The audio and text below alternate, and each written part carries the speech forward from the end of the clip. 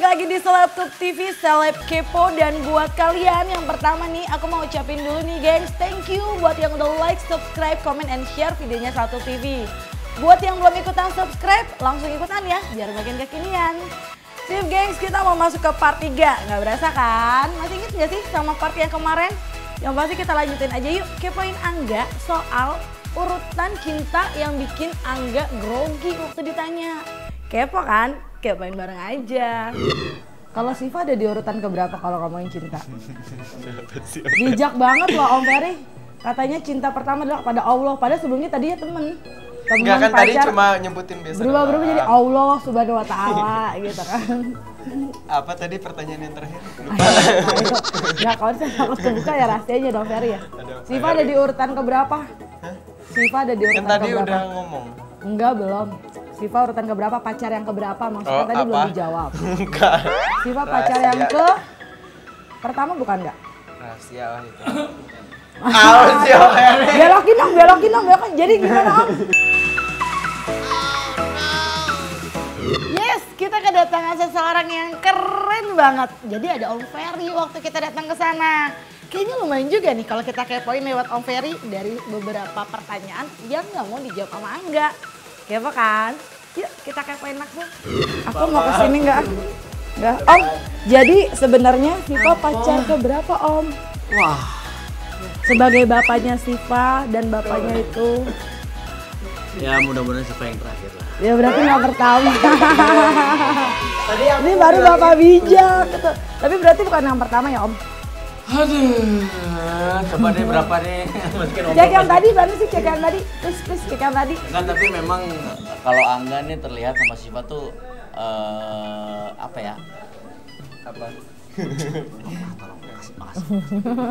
Cocok banget gitu ya. Memang Eh, kita nggak- seuyunan, se- satu jalan gitu. Ini permen dari Turki om. Beda. Jadi, Angga itu ya adalah Enggak, memang kalau kalau dilihat sih Angga sama Om om butuh power bank kalau Astaga, handphone. power bank lah. Power bank om biar nanti. Dia udah agen power bank. Oh udah nggak power bank ya ampun. Jadi Siva ini pacar keberapa om Ferry? Berapa ya enggak? Apa jangan-jangan sebenarnya Angga belum ada yang naksir, baru kali ini ada yang naksir ya om? Enggak. Waktu di Lombok sih ada. Oh waktu di Lombok Ya, ada. Cewek, cowok apa? Cewek, ya cewek lah. Enggak, enggak dulu juga. Waktu di Lombok ada yang dekat. Di sana. Seumuran apa di bawahnya masih bayi? Cowok tahu aja masih bayi kan nggak tahu. Cuman kan mungkin dengan berjalannya waktu, komunikasi juga. Terima kasih Angga. Angga cakep banget, luar biasa solehnya. Sholatnya juga pasti. Headset ada headset baru kan yang tadi mereknya udah bilang Sony. Itu Sony loh aku punya om om. Ya, Iya. ya enggak dengan berjalannya waktu kan Angga juga kan di sini terus mungkin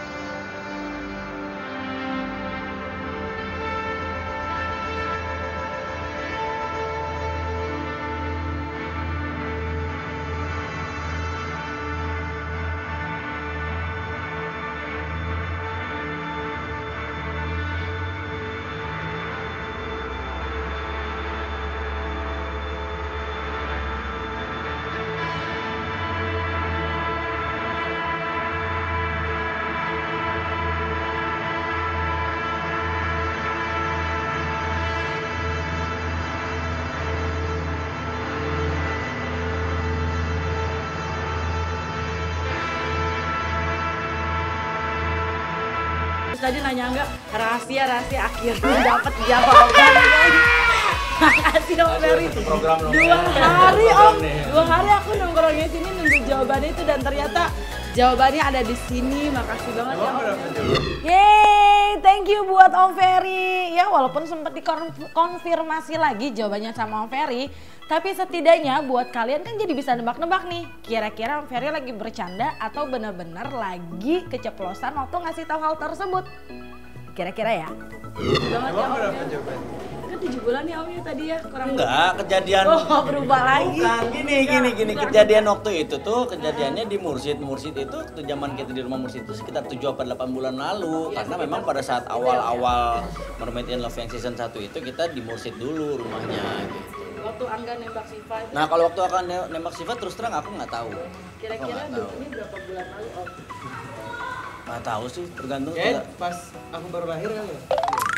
Sekali Anda berlahir dan tahu cinta. Kira-kira berapa bulan? Ada lima bulan? tahu. Kayaknya lebih ya. lagi, geng. Kayaknya Kita lebih. dari kantor tadi kita gepok. Saya sih terima, saya mah terima sih, Ah, itu makanya saya selembar aja. Gitu. Ini kenapa jadi saya yang diinterogasi ini? Enggak, enggak, enggak. Nah loh, ternyata Ferry kayaknya bakalan sadar nih dia lagi diinterogasi alias dikepoin. Nah sebelum eh, Om Ferry itu pergi, jangan lupa kita kepoin lagi nih. Ini tentang kapan ya kira-kira Om Ferry ngelihat gelagatnya Angga mulai suka sama Shiva atau punya sinyal cinta sama Shiva. Secara ada fakta kece nih dari Om Ferry yang ditangkap sama tim Satu TV soal Angga yang ternyata katanya dia itu tipe yang protektif. Tapi protektifnya positif kok gengs. Kepo kan? Kepoin bareng. Suara saksi mata waktu Angga lagi deket-deket sama Siva belum jadian, kamu ngeliatnya gelagatnya kayak gimana sih? Angga mah anak manis, lempeng dia mah. Kok sekarang kamu cari cewek manis cantik kayak apa? Sama dia mah lempeng-lempeng aja. Lempeng dia mah. Enggak. Terlihat itu ketika eh, misalnya ada sesuatu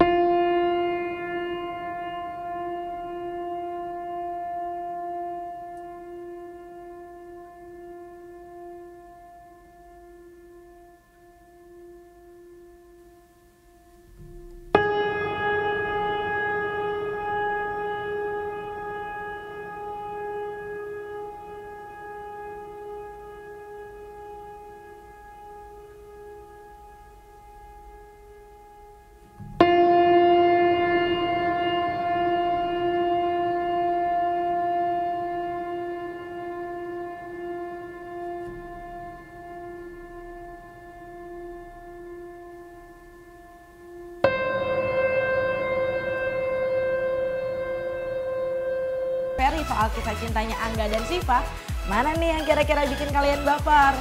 Isi jawaban kece kalian di kolom komen video ini dan jangan lupa like, subscribe, comment, and share Salto TV. Tunggu juga video berikutnya di part selanjutnya. Oke, aku Onyx, see you next time. Bye-bye. Ya, paling kan ketemunya ya di lokasi-lokasi Nah, aja bukan gitu. ketemu pacarannya di mana